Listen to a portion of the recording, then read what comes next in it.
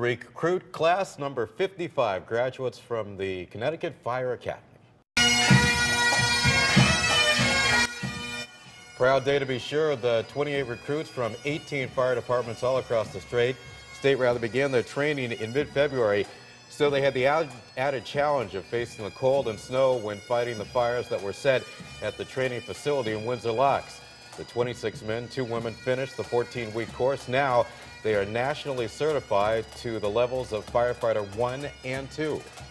Where they're actually fighting live fires, rappelling out of buildings, riding on the apparatus that we have. Uh, it's a full, it takes them from the very beginning, and we come out with quality firefighters in the end.